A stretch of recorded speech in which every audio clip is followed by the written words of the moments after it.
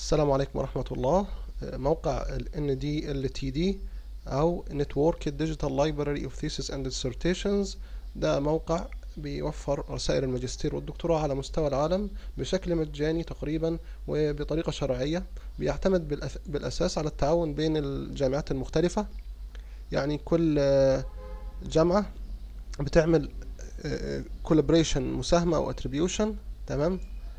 آه، يعني مثلا هنا بيجيب إحصائي آه، أسماء الجامعات المشاركة في المشروع ده تمام؟ وكل جامعة والإسهام بتاعها يعني مثلا ال Australian Digital Theses Program ال collection size بتاعه وفر 238 رسالة وهكذا. تدخل على ال website وبتكتب كلمة البحث هنا وممكن تعمل advanced search بحيث تقيد نتائج البحث. هو بيوفر لك حوالي خمسة مليون رسالة ماجستير ودكتوراه. هتلاقي في الغ- في الغالب ال- ال- الحاجة اللي انت بتدور عليها هعمل search على موضوع طبي مثلا. جاب لي حوالي 2000 نتيجة بحث في جزء صغير من الثانية. هنزل أي رسالة أنا عايزها بضغط عليها open a new tab. بيحملها لي بيكتب لي ال description هي عبارة عن إيه وبيديني رابط التحميل.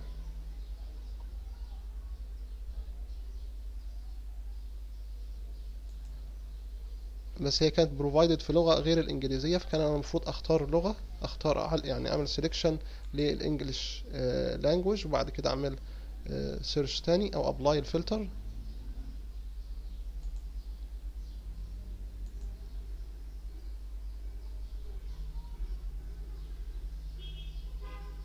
هنا الرسالة مش مش مكتوبة باللغة الإنجليزية وإن كان هو وفر منها نسختين آه، لكن خلينا في النسخ الإنجليزية مثلا.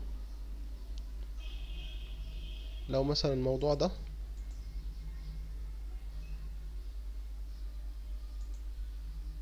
هنا ال topic مكتوب بال بال English language وهنا ال download link هضغط على ال download link هيفتح لي صفحة التحميل للجامعة اللي هي أسهمت بال بالرسالة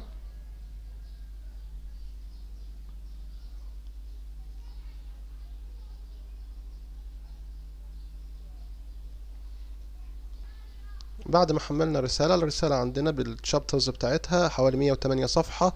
عندك ال introduction هتشوف كتب ال introduction إزاي عمل ال methodology إزاي كتب ال results بتاعته إزاي عمل discussion للنتائج بتاعته إزاي.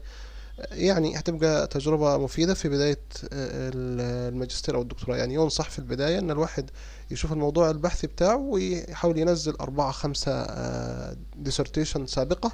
ويشوف الناس بتكتب إزاي عشان يكون إطار عام هيمشي عليه بعد كده في رسالته. إيه ال methodology الاخت- الاخ- الاختبارات اللي هتتعمل الاختبارات الإحصائية شكلها إزاي ال methods بتتكتب إزاي. إن شاء الله تكون تجربة مفيدة.